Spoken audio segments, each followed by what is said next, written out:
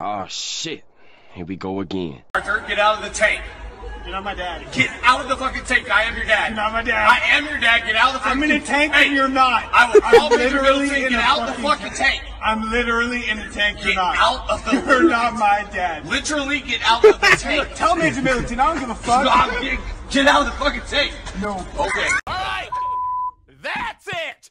If you're gonna be shitty to my employees, then I challenge you to a fucking challenge. Fuck, I said that twice. It's very simple. Oh, sit on a. See.